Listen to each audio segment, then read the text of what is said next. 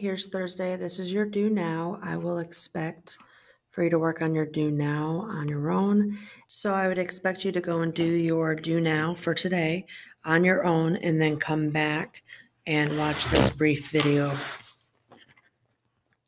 So I want to go ahead and annotate this. I don't want to do it in my notebook. I'm going to do it by hand. So I'm going to hit Control Shift F4. I'm going to take a screen, screenshot of this. Down here, I'm going to hit Annotate Image. So on this bell ringer, it says to factor and solve x squared minus 9x plus 8. So to do that, it's a, I like to use the five-step method. There's plenty of ways you can do this. So first thing I'm going to do is I'm going to look, is there a greatest common factor?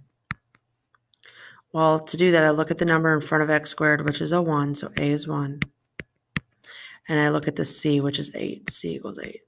There's no greatest common factor between any of those numbers and the negative 9, so that's done. We don't have to do anything there.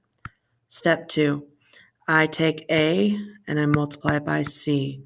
So my numbers are 1 times 8. What's 1 times 8? 8. Step 3. I'm looking for two numbers. I'm looking for two numbers that multiply together to give me 8. But when I take those same two numbers and add them together, I actually get the B, which is negative 9. So hopefully you're thinking about two numbers that multiply together to give you positive 8, but add mm-hmm. together to give you negative 9. Hopefully you've come up with negative 8 times negative 1.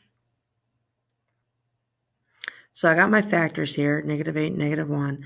Well, I need to turn these into binomials. First thing I do is I say, okay, are these divisible by a? So what's a? a is 1. So I divide both those numbers by 1. Well, can you reduce these fractions? No, the fractions don't reduce, so we leave it like this.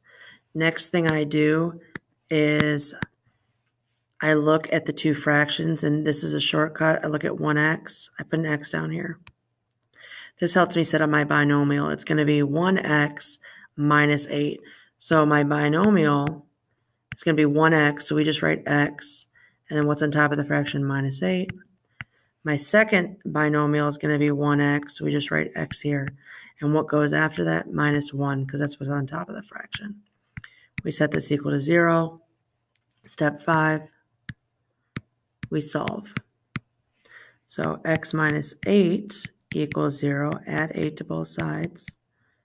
We get x equals 8. And then we got x minus 0, or x minus 1 equals 0. Add 1 to both sides. We get x equals 1. So your answers, you have two answers, x equals 8 and x equals 1. The way that we were taught to write them in Algebra 1 is x equals fancy brackets, 1 comma 8. So I put this back in my notebook, Control Shift F4. Highlight the page you're trying to get or the amount. Copy to clipboard. Go back to our slide and press Control V to paste it in. I moved things around a little bit, and so we already discussed midpoint, segment bisector, and perpendicular bisector on the last video. Next, what I'm expecting you guys to do is go ahead and drag each one of these into the correct spot. See if you can figure out what a point, a line, a line segment, a ray, opposite rays, and a plane look like.